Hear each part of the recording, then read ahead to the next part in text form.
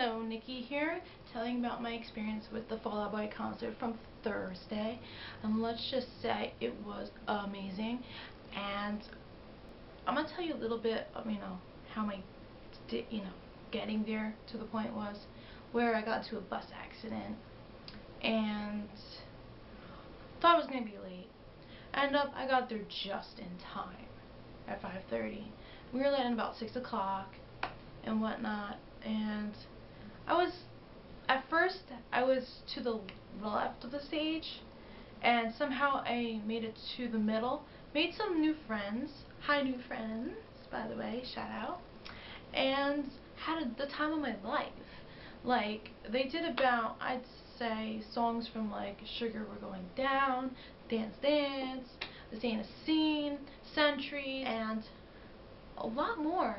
And it was just like a crazy experience and I had so much fun. Patrick's guitar pick. He threw it out. I stepped on it really quick. Then my new friend got picked for me gave it to me and I just like I can't believe I have this. And it's pretty awesome. And then after the show I went to the side where the stage door is and we all did a group picture with them. And oddly enough I looked so creepy in the back because I was literally on the barricade and trying to get into the photo. And somehow didn't realize that Patrick was literally there so I was able to crop it and you can see me being creepy like I said in the photo. But you know what? He stared right into my eyes when I asked for a picture, but oddly enough, we got the group picture instead. And they were just amazing that day. And it was such a great experience. I want to thank One Iota for choosing some of us for priority and people like, you know, Ticketmaster for releasing free, you know, tickets. I would have never imagined to meet really cool, laid back, Fall Out Boy fans that I made friends with that day.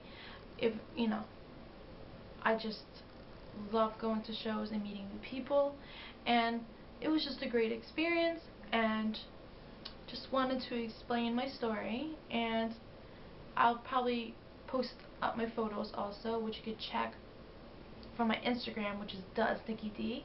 And let's just say that's about all and I would like you to put a thumbs up on this video subscribe to my page for more videos each and every week and I will be posting a new one next week about uh, anything you want. Just let me know and I'll do it. Bye